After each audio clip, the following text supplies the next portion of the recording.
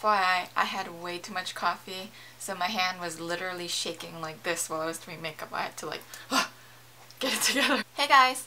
So, well first and foremost, my hair is obviously different. I'm pretty sure it was a big surprise um, how much my hair changed um, from my previous video which was the boyfriend does my makeup tag video. I wanted to do like a video updating my hair before I posted that but we already filmed it and I just wanted to just post it up because it was just funny. So I'll put the link down below um, to the video so you guys can watch it. It's actually pretty damn funny so. But yeah other than that um, since then my hair did wash out a bit. It was a bit more on the blue tone gray silver side um, but I actually like this a lot better. It's like a much more uh, what do you call this steel gray tone. But yes I don't want to ramble too much but if you guys would like a separate video um, about my hair like what color it is and what the cut is like leave a comment down below and I'll be more than happy to do that for you guys. I'm actually thinking of going back to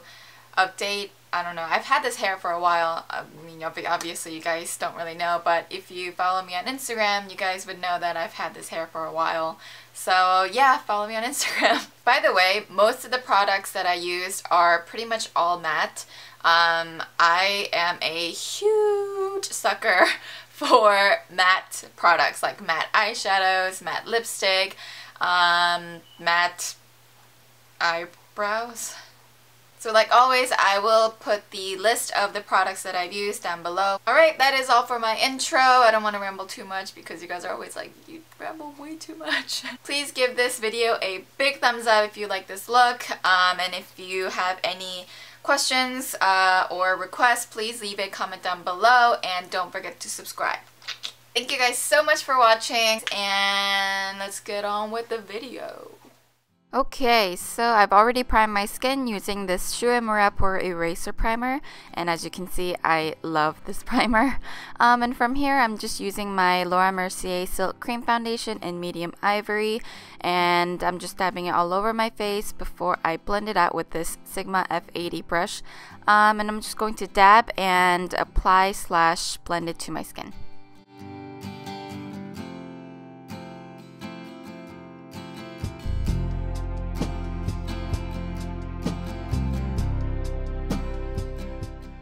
Now I'm just going to use my Radiant Creamy Concealer by NARS and I'm just going to apply that on the highest points of my face as well as some blemishes. And I'm going to use this Bitty Mini Beauty Blender and I'm using that fat side um, to dab and blend it into my foundation. Going with my MAC Pro Longwear Concealer, I'm just going to apply that underneath my eyes. And now I'm going to use that pointy side from the Mini beauty mini beauty blender um, and I'm going to blend it out using dabbing motions. Real quick, I'm just going to go back to my F80 brush and blend the concealer into my foundation. And now I'm going to use my Mineralized Skin Finish in Light Plus and my Real Techniques buffing brush to set all that in. Now this contour kit and that banana powder inside this contour kit is everything. This totally sets and brightens your under eye like it's nobody's business. For my eyebrows, I'm just going to use my Makeup Forever Aqua Brow in number 15 and I'm using my Anastasia brush in number 12 to apply it.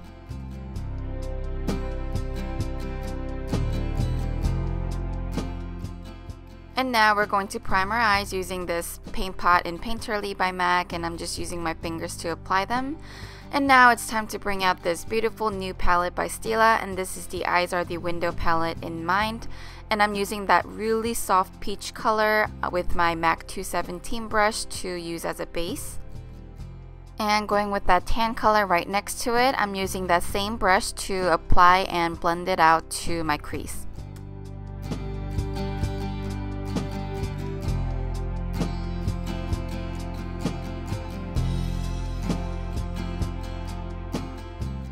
Using that medium reddish brown color right there, I'm using my Sigma Exact Blend Brush in E32 um, and I'm just going to work my way up from the lid area.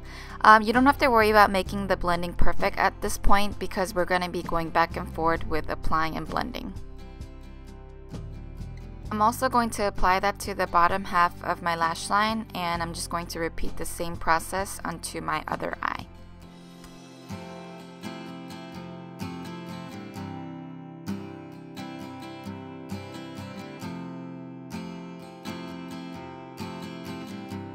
Now going with my Sigma pencil brush in E30, I'm going to use that beautiful dark reddish brown color and I'm just going to apply that onto the outer corners.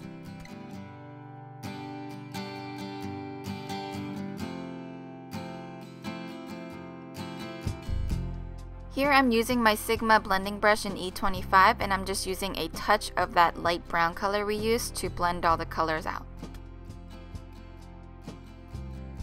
Next, I'm just using my MAC 239 brush and going with that creamy white color, I'm just going to apply that onto my brow bone for highlight.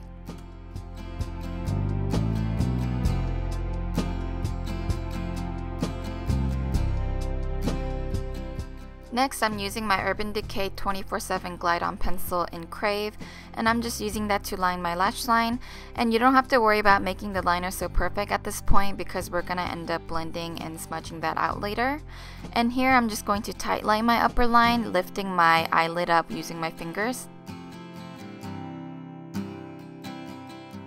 And we're also going to line our bottom half of the waterline. And now I'm just going to smudge all that out using my Sigma pencil brush that we used previously and blend it all out into the eyeshadows.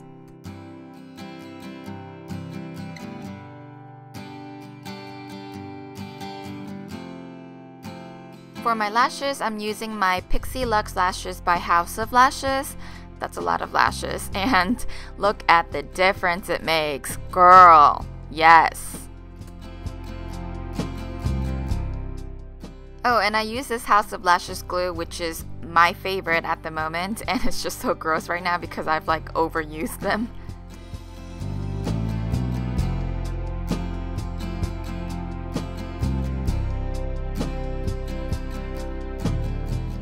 And this Skinny Mascara by Innisfree is perfect for my non-existing bottom lashes.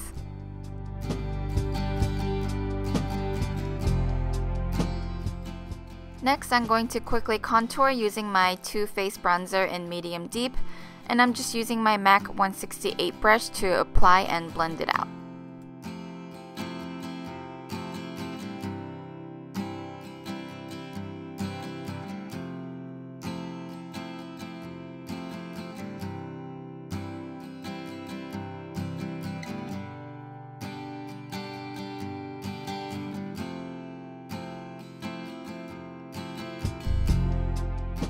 Going back to my contour kit, I'm using that color in Fawn to contour my nose. And if you'd like a more in-depth tutorial on how I contour my nose, please let me know on the comment down below.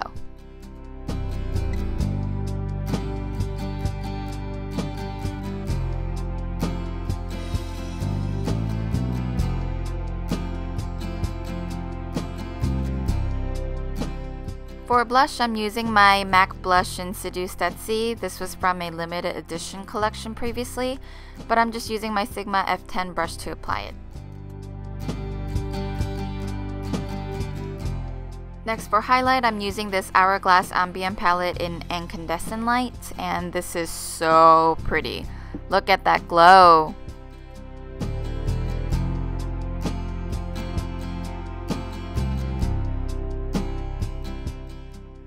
Finally, for the perfect fall lips, I'm using my Lorac Pro Matte Lip Color in Merlot. And you can keep it nude if you'd like, but I thought this lip color was perfect for this look.